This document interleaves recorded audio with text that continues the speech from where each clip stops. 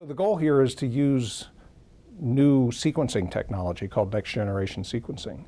that has the capacity to find DNA that is shed from cancer cells at very low levels in the blood and develop something called a liquid biopsy, something that can screen the entire body for cancer. What we found is that it worked best for a dozen or so cancers for which there are not established screening paradigms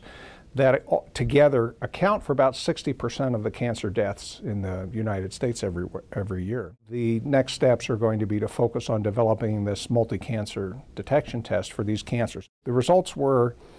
that for the early stage cancer, stage one to three, about all of those, this test detected about 75% of stage one to three cancers. The hope ultimately would be to have a validated test that's highly accurate